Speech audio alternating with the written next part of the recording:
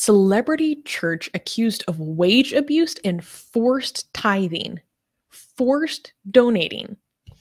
A celebrity megachurch in Seattle called Churchome. I think it's a play on words of like church and home being combined. I don't know how to pronounce it. Churchome is in hot water after an ex employee filed a lawsuit accusing the organization of wage and hour abuse.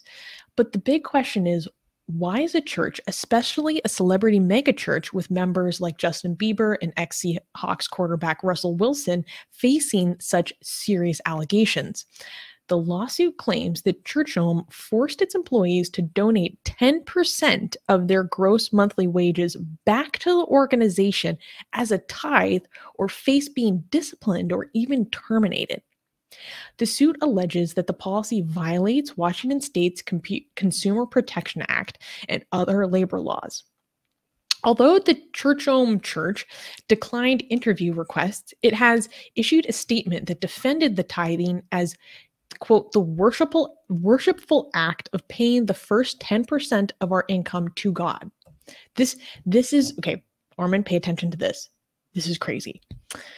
The statement also added that while the church does not deduct tithe from its employees' paychecks, it asks them to live out this practice.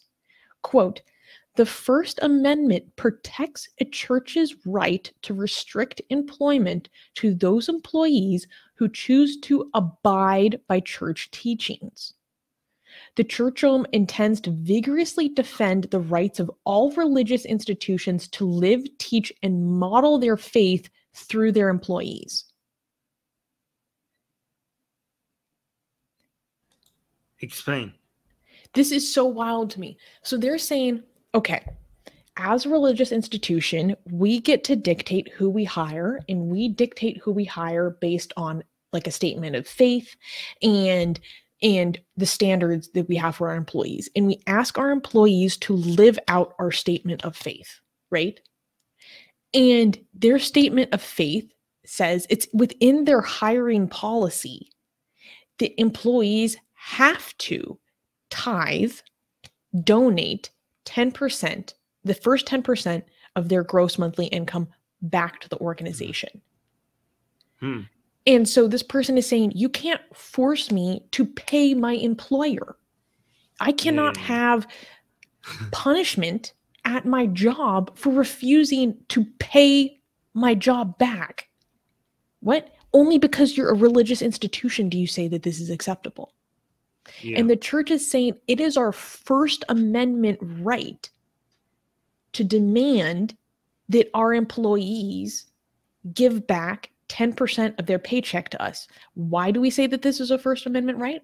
Because we say that this is a religious practice and that mm-hmm. as a religious practice, we demand that our employees of our religious organization follow our professions of faith.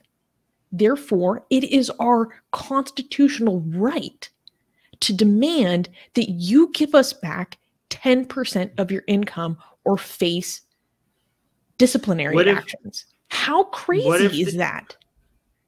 Right. So why do these people keep working there? Just leave. Well, she she did. this woman did.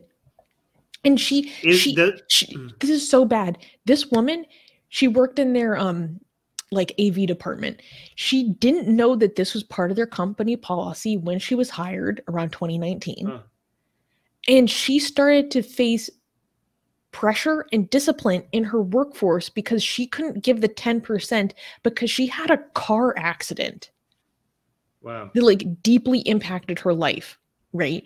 In her ability to she was like struggling. She was struggling because of the consequences mm. of a car accident and they start to pressure her and discipline her for not giving her money back to the church when she's trying to yeah you know take care of herself through a difficult time it, it's so morally unconscionable to me.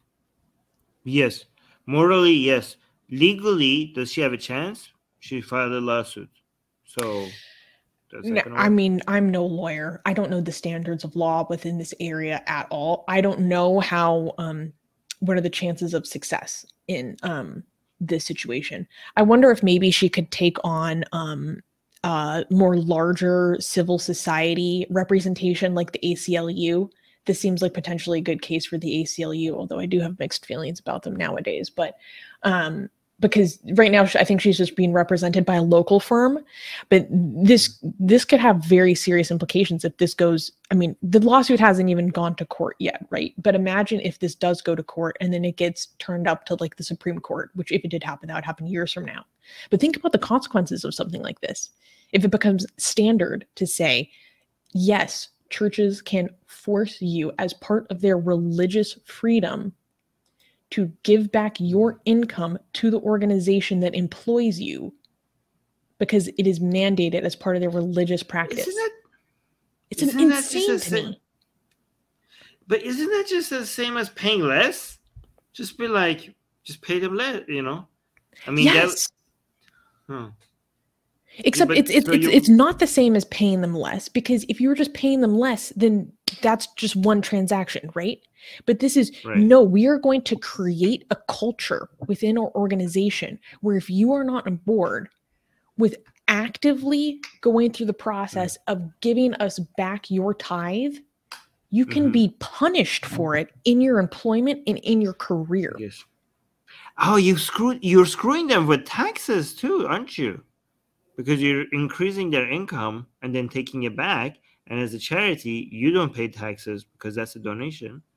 Well, it But could be wouldn't they be? write off theoretically, depending Yeah, they could write it off It could be, they could. Yeah, could this is off. just this is just paying people less with extra steps. That's what this is. yeah. you just you just have the benefit.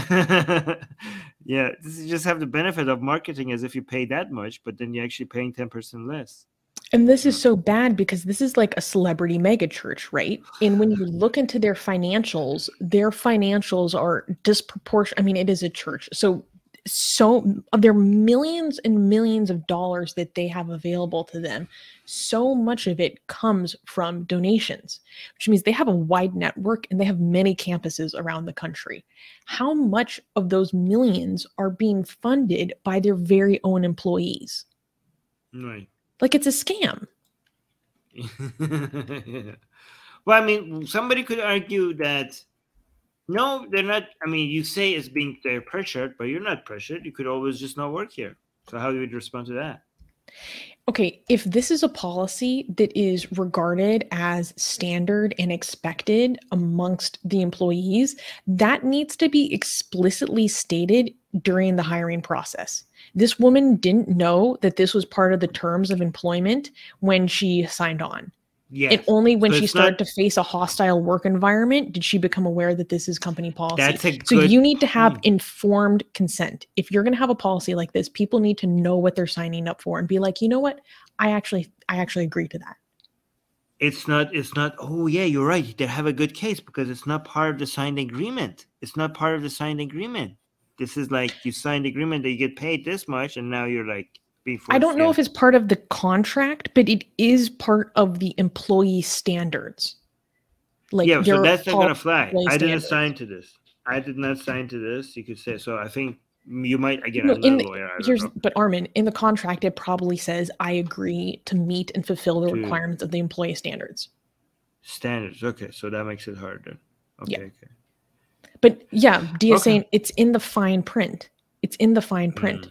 But if this sort of a thing should not be fine print, this should be a verbal expression of an expectation that we have yes yes as your employee. Imagine if you imagine if you could put this in the small print, and you know other companies that are not religious should be like, you give us fifty percent, and that was it. Ha! You're in a small print. Like, what are you gonna do now? I know if I had been then. working for an organization and then I have a car accident that changes my life and I'm struggling and then they start badgering me for 10% of my income when I didn't even know that this is part of their practices and actually expectations, I would be I would be losing my mind. I would leave too. I'm like, are you insane? Mm, If you have an expectation that I should be paying you to pay me, you're out of your mind. You need to tell me that from the get-go. I don't know. That it just I it blew my mind. The gall, the gall, the gall to say that this is a constitutional right and that they will mm. vigorously defend their First Amendment right to live, teach, and model their faith through their employees this way?